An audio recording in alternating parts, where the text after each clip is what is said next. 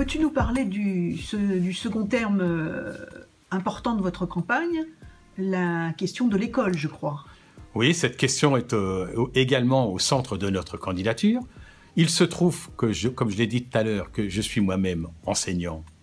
J'ai été longtemps enseignant euh, à Noisy-le-Grand, que ma suppléante, Joëlle O'Brien, a été elle-même instituteur durant de longues années.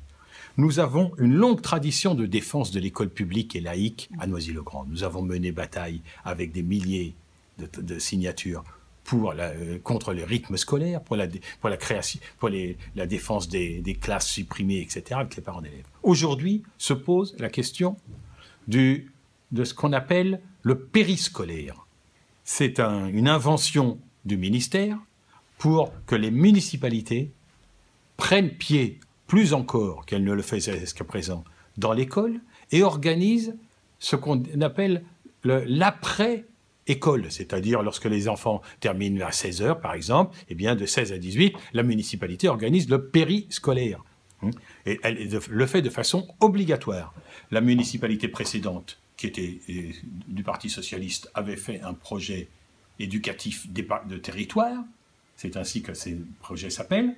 La municipalité actuelle, de droite a euh, fait un autre projet éducatif de territoire, tous deux rentrent de plein pied dans la mainmise de l'école, de la municipalité sur l'école. Nous sommes partisans d'une école nationale dans laquelle les élèves ont les mêmes programmes, les mêmes diplômes, les mêmes euh, horaires, enfin, préparant au, même diplôme. Dans quelques jours va s'ouvrir le, euh, les, enfants de troisième vont passer le diplôme national du brevet, qui a déjà été vidé en grande partie de sa substance.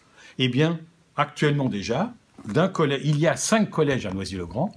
Les cinq collèges ont des horaires de français, d'histoire, de, mathématiques différents d'un collège à l'autre. Il y a un seuil minimum et un plancher. Et, et, certains élèves, dans certaines classes de troisième, ont eu deux heures de français, les autres trois ou quatre et, le respect des programmes nationaux dans ces circonstances est impossible. C'est cela qu'on appelle la territorialisation. Voilà, c'est cela qu'on appelle la territorialisation, l'autonomie des établissements. Elle va mener à la destruction de toute valeur du diplôme national du brevet, et après, parce que la même chose s'applique également dans le lycée, au, au diplôme euh, qui est euh, charismatique en France, le baccalauréat, qui est à la fois la fin du second degré et le, premier diplôme d'université, donc qui pour l'instant donne le droit aux enfants des familles riches ou des familles ouvrières d'aller à l'université.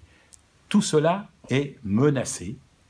Euh, et donc, euh, c'est pourquoi nous avons fait de la défense de l'école, du droit pour tout le monde, pour tout élève, riche ou pauvre, de pouvoir poursuivre des études dans un cadre national avec un diplôme, un des aspects de notre campagne. Ajoutons que le MEDEF, le patronat, a toujours rêvé et continue à rêver de remplacer les connaissances par des compétences de façon à ce qu'ils puissent sortir tranquillement des conventions collectives qui, elles, sont basées sur des diplômes nationaux.